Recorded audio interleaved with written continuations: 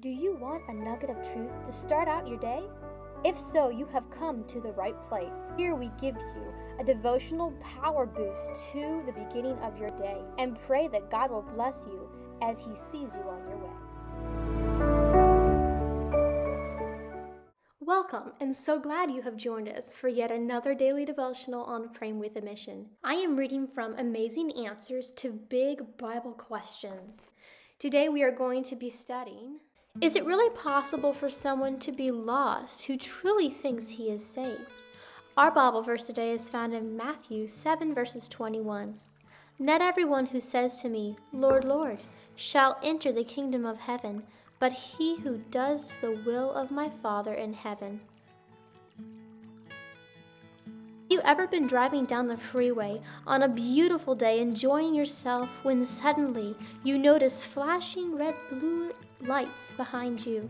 The first thought might be, oh no, was I speeding? You glance down and sure enough, you're going 15 miles an hour over the speed limit. What would the highway patrol officer say to you if you told him, but I didn't mean to speed? Or, I thought I was going the speed limit. The fact is, you still broke the law. Likewise, Jesus warns us that some people might think they are going down the road to heaven, enjoying themselves and minding their own business. But what they think does not change God's expectation. Christ said that you can know that you are on the path to eternal life if you are seeking my Father's will in heaven. Truth is not shaped by our feelings or hopes. It stands solid, grounded of what we might think. So, how do we know we are doing God's will? We know we are going in the right direction when there is an intimate connection between ourselves and the Lord. It's more than just doing the right thing. Many will say to me in that day,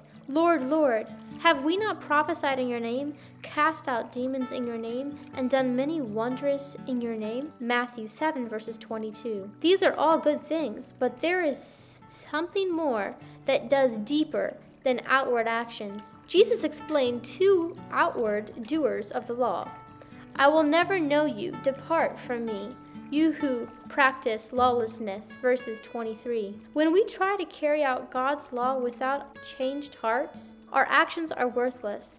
It shows that we are not really doing God's will because our motives have not changed. People who have assurance of salvation live lives of service motivated by unselfish love. This is the will of the Father in heaven. If you have enjoyed this devotional, then please look around and find the like button and give it a friendly tap on the shoulder. Put a comment down there and tell me which part of this devotional was your favorite, which part you got out a good nugget that you can take throughout the day, um, and just consider subscribing because the more the merrier, and you know, God's family is not a small family. So, if you would love to join us in this adventure of praying with a mission, check out what we have below. There are many other options, and see you around.